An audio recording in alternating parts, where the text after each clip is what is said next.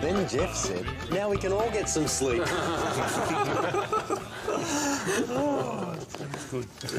Very good joke. Good booking.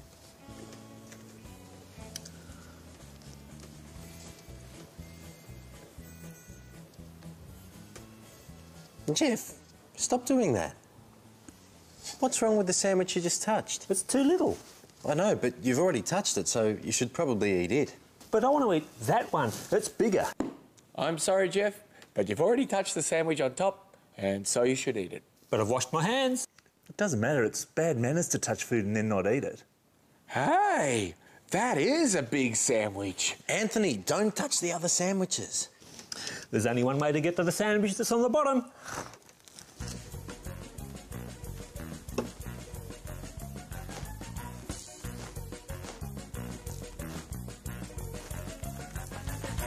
Ha me hearties!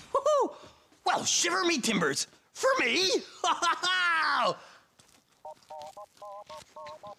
Mmm!